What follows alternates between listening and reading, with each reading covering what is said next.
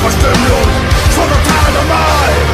Sender auf allem ganze Land, Influencer, Instagram, Männer, Leggings, neuester Look, kein Face to Face, no Face to Look.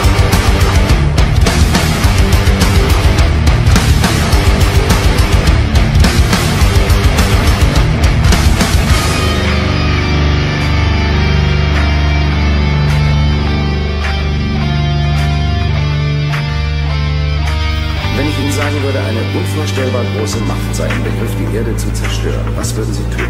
Ich würde die Staatsmänner aller Nationen zur Rate ziehen. Freunde und Feinde? Natürlich. Sie sprechen von der Zerstörung der Welt. Wir müssen alle zusammenhalten, um das zu verhindern. Sie ist bereits hier. Was ist bereits hier? Die Macht, die unsere Erde zerstört. Es gibt sie schon seit geraumer Zeit und sie wird immer stärker. Wir sind die Macht, die die Erde zerstört. Wir verseuchen unsere Flüsse, unsere Ozeane und verwandeln sie in Meere aus Gift. Wir zerstören unsere Ozonschicht. Wir hinterlassen Millionen von Tonnen von tödlichem Atommüll, ohne zu wissen, wie wir ihn loswerden können. Unsere Regenwälder werden jeden Tag um 50.000 Hektar kleiner. Der Sauerstoffvorrat verringert sich minütlich.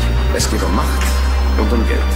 Diese schreckliche Macht kann man nur aufhalten, wenn alle Führer dieser Welt und alle Menschen dieser Welt sich gemeinsam dafür einsetzen. Ihnen müsste doch klar sein, dass wir uns selbst zerstören werden. Alle Streitigkeiten müssen endlich beendet werden. Wir sind nur für so kurze Zeit auf dieser Erde. Vergessen Sie nicht die Sorge um die nächste Generation. Und die nächste. Und die nächste.